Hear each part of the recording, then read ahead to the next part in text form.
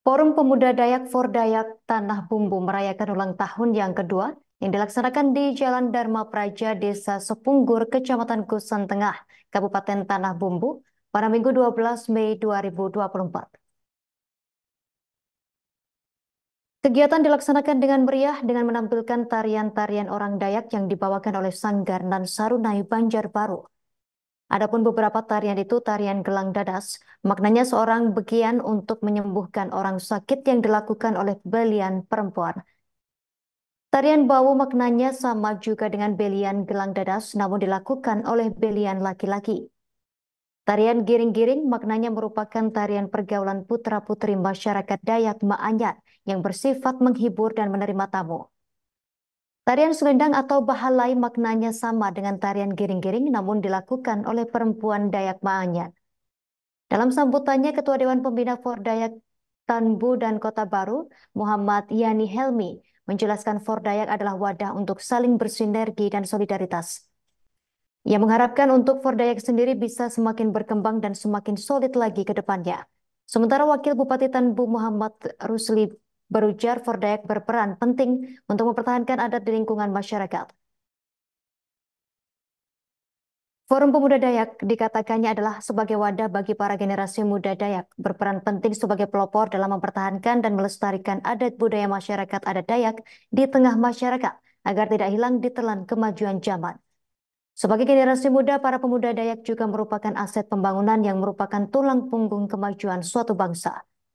Ia mengajak kepada para pemuda Dayak untuk senantiasa berkolaborasi dan bersinergi dengan pemerintah daerah dalam membangun daerah, serta selalu menjaga adat dan istiadat budaya Dayak sebagai salah satu kekayaan ragam budaya yang ada di Indonesia, khususnya di Kabupaten Tanah Bumbu.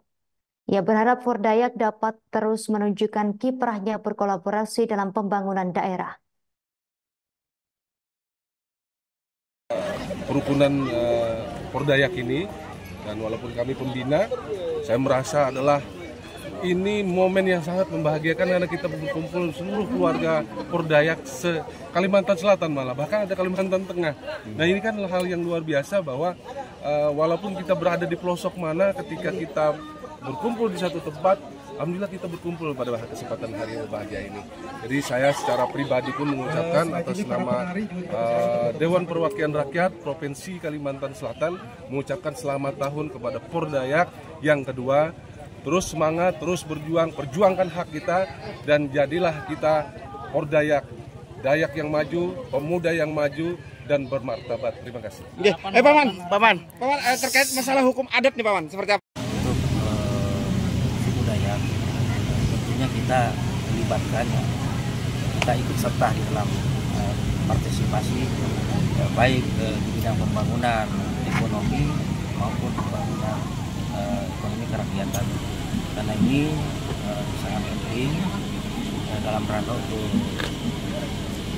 ke depan dalam rangka untuk melestarikan melanjutkan pembangunan perekonomian kita tidak hanya dari satu sisi tapi uh, seluruh uh, seluruh masyarakat dan seluruh suku budaya adat uh, harus semua ikut berpartisipasi di dalam membangun uh, perekonomian masyarakat.